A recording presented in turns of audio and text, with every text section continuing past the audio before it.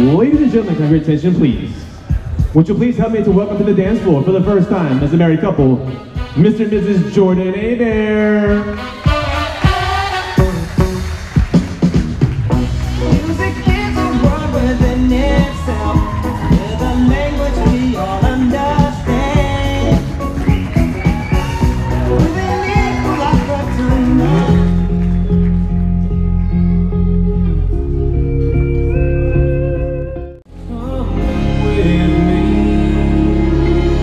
Ladies and gentlemen, once again, put your hands together. Congratulate these two.